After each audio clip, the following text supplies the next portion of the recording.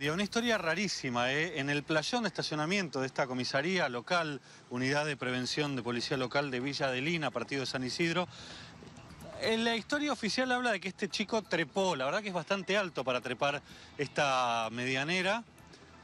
Uno imagina que en realidad habrá encontrado la puerta eh, abierta de la cochera. Bueno, lo cierto es que dentro de esta cochera eh, estamos hablando de un chico de 13 años, se topó con un policía, el oficial eh, Martín Cejas.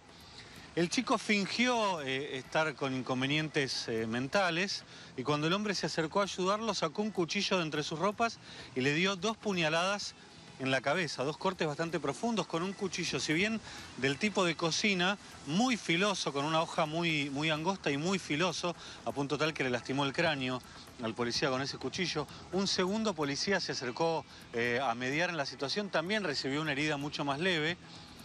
Un tercer policía le disparó al menor en una de sus piernas para reducirlo porque estaba verdaderamente descontrolado. Y hubo también un cuarto policía afectado que sufrió un infarto al ver toda esta eh, situación.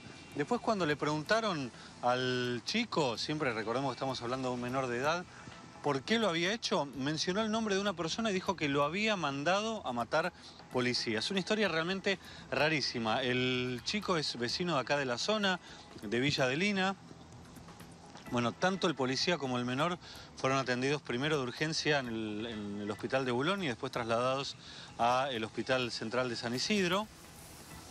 Y ahora habrá que ver, bueno, qué sucede a nivel judicial. Primero teniendo en cuenta la inimputabilidad del chico, estamos hablando de un eh, adolescente de 13 años. Eh, y además, en realidad, ¿qué fue realmente, si estaba con sus facultades mentales alteradas, Sergio, o si realmente obedecía, como él dijo, a las órdenes de una persona que lo había mandado a hacer claro. Vamos a escuchar, porque está el video, ¿eh? y lo tenemos. Ahí vamos a poder eh, entender un poquito con más claridad lo que vos estás contando, José.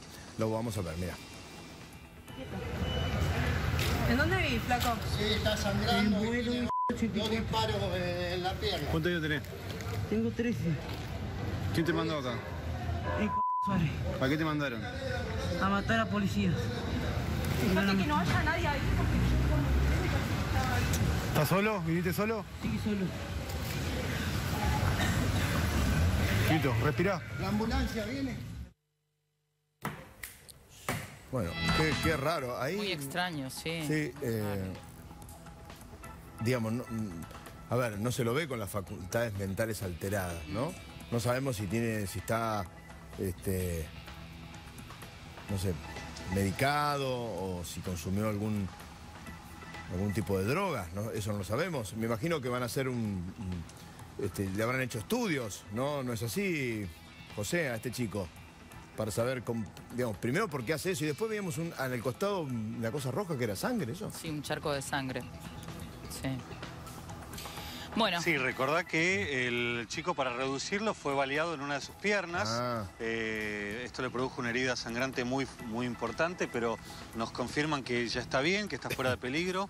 Eh, no pudimos confirmar bien el estado del, policía, porque además tenemos entendido que en algún momento iba a ser trasladado al hospital Churruca.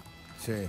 Lo cierto es que hasta ahora eh, no pudimos hablar con, ni con una persona acá de la comisaría y en principio de la fuerza están investigando bien, están, eh, antes de dar cualquier información, están tratando de determinar qué, es lo que sucedió, porque llama mucho la atención.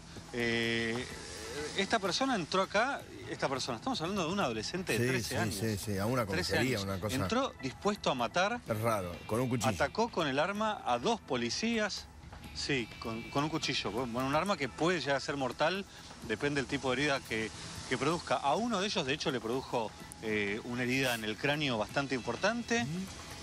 el, otro policía tiene una herida leve. Eh, y entró dispuesto a todo. Eh, y estamos hablando, repetimos, de un chico de 13 años.